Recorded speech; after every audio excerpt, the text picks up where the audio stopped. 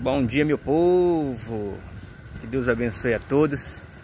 Esta manhã de sábado, partindo para trabalhar.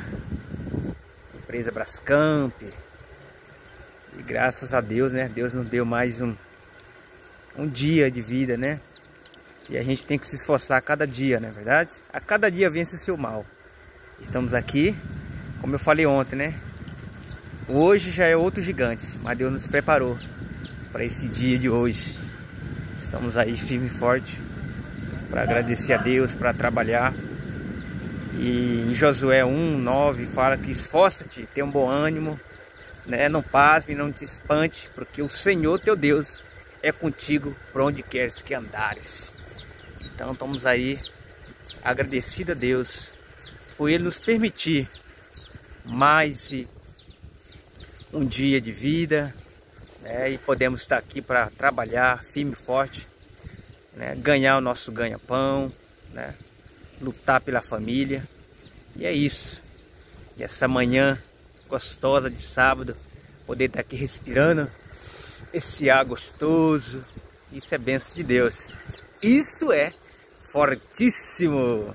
Que Deus abençoe a todos, que Deus possa abençoar o final de semana de todos aí, que podemos chegar, graças a Deus, né? Que eu e você podemos chegar. Estamos aí de pé, firme, né? Uns já estão já no fazendo seus exercícios, né? O meu filho, o Juliano, o Fabiano ali já, né? Fazendo a sua corrida, atleta, treinando. Né? Estamos aí firme e forte. Vamos para cima, porque com Cristo no barco tudo dá certo. Vamos que vamos sábado, manhã de sábado abençoada por Deus.